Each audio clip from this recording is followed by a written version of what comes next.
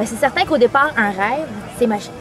Donc, ça nous fait sortir de notre, quotidien, de notre euh, malaise face à la maladie, face à, tout ce qui entoure la dépression suite au traitement, parce qu'il faut pas se cacher, des traitements, euh, c'est quelque chose de difficile à subir physiquement.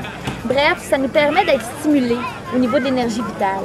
Donc, le rêve, c'est beau, c'est magique, c'est grandiose, mais c'est tout le tralala alentour, ce qui veut dire, comme ce soir, de rassembler la famille, les amis, l'amour qu'on retrouve. C'est aussi fort, même des fois plus que le rêve même. Donc, je pense vraiment qu'en ce moment, en 2011, si on compare euh, la recherche, les traitements de chimiothérapie, la radiothérapie, je pense qu'on était rendu là de trouver une autre façon de réanimer les gens.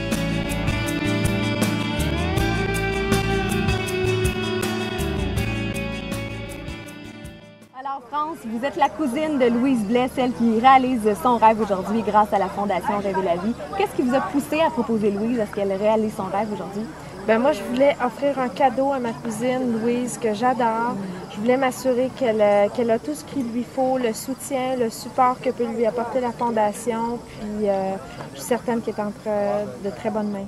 C'est une façon pour moi de lâcher prise euh, sur ce que je suis pas capable de contrôler dans ma vie. C'est comme un nouveau départ euh, à ma vie.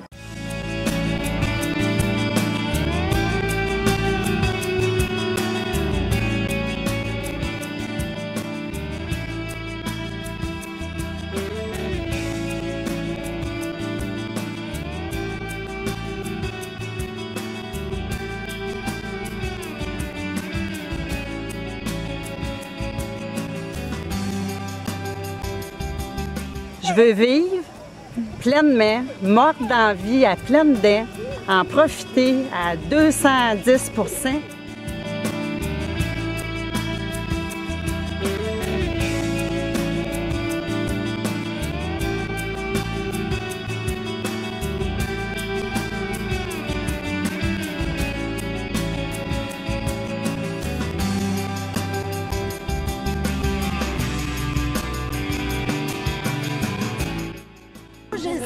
Sylvain, j'ai tout vu, j'ai... Ah.